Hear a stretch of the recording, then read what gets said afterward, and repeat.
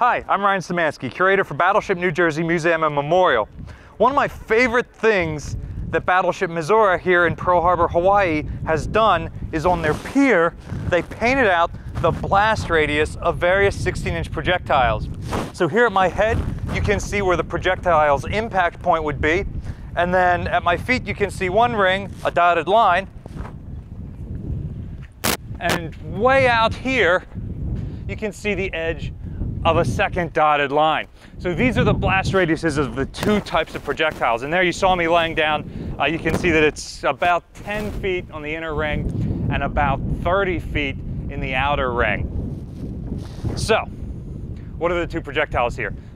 Believe it or not, the inner ring is the heavier 2,700 pound projectile.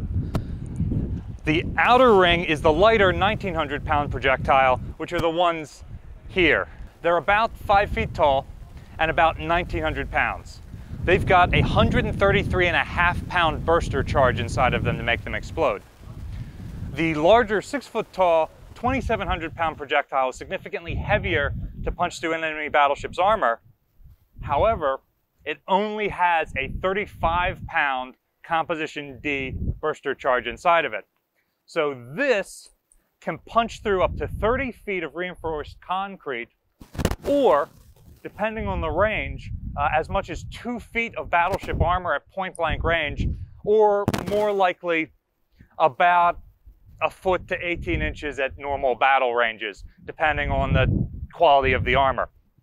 So, once it gets inside, it's got uh, a 0.033 second time delay fuse and traveling at 2,400 feet per second, that gives it just enough time to punch through an enemy ship's armor protection get inside the ship, and then burst with an explosion like this.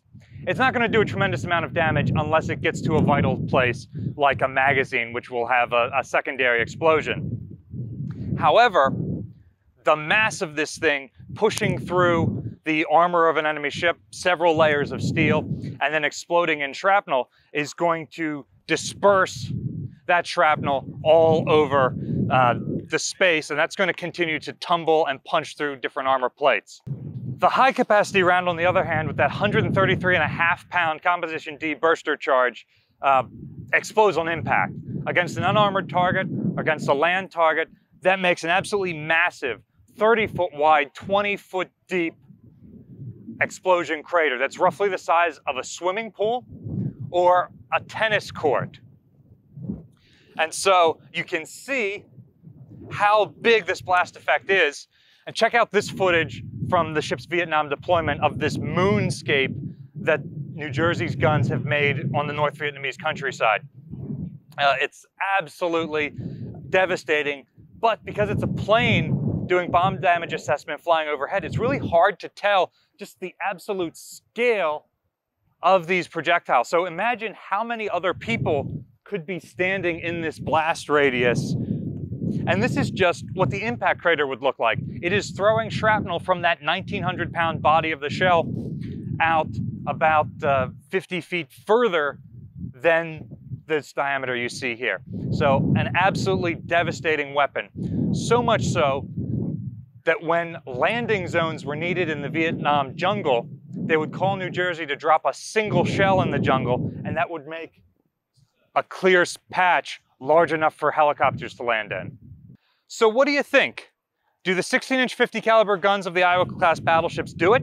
Or do you think they should have been armed with larger 18-inch guns? Or do you think this is too much and they could have gotten away with a smaller 14-inch uh, gun? Let us know in the comment section down below if you think this was the appropriate caliber. The Navy sure thought it was for five decades. Battleship New Jersey receives operating support from the New Jersey Department of State, also from a number of other businesses and private individuals like yourselves. We really appreciate your support and there's a link in the description down below if you'd like to support Missoura and the work they're doing here in Pearl Harbor, Hawaii. You can support Battleship New Jersey by liking, sharing, and subscribing so that more people find out about us and our channel. Also be sure to go to the social media sites and the donate page that we've dropped in the description below for Missoura so you can support them and find out the cool stuff that they're doing here in Pearl Harbor. Thanks for watching.